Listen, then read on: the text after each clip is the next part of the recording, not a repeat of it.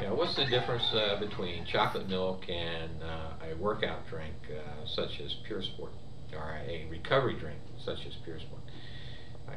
Uh, yeah, many many individuals now are, are in, and it's, been in the, the papers and the lay press that uh, chocolate milk is a good recovery drink, and and in actuality, chocolate milk is a good recovery drink. It has carbohydrate, it has protein, uh, it has calcium, and some other nutrients that are, are good for the body.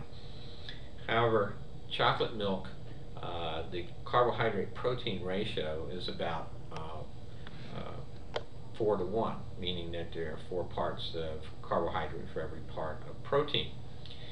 Uh, this and the uh, and also the the sugar or the carbohydrate that's in chocolate milk uh, can lactose, and, and some individuals can't tolerate lactose. So if uh, you're lactose intolerant, obviously chocolate milk would not be a good recovery drink. However, if you take a uh, formulated uh, uh, recovery drink, such as PureSport, here we have a carbohydrate protein ratio that is actually lower, so it's 2.67 to 1, meaning that there's only 2.67 uh, uh,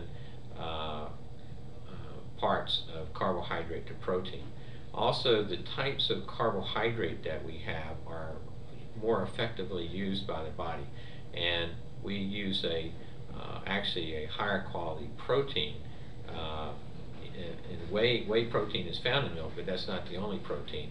Uh, our protein is solely whey, which is overall for the, if you take a, a certain amount of protein,